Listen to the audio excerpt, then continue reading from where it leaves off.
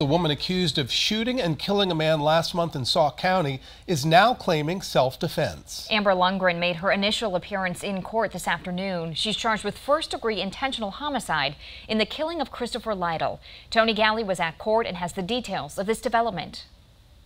Authorities say for more than two weeks, Amber Lundgren remained silent about shooting and killing Christopher Lytle in a remote part of Sauk County.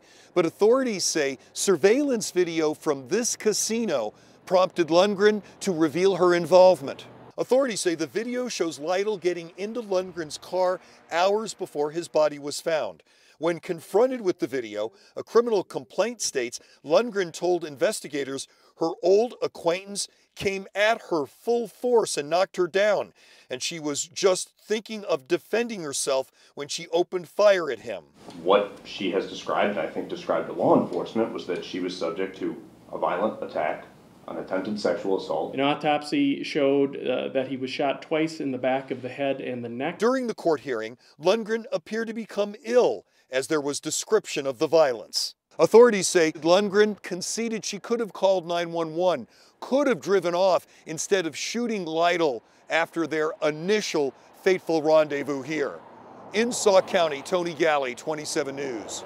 A judge set Lundgren's bail at $500,000. Lundgren told authorities she'd been exchanging text messages with Lytle for about a month before they connected at the casino.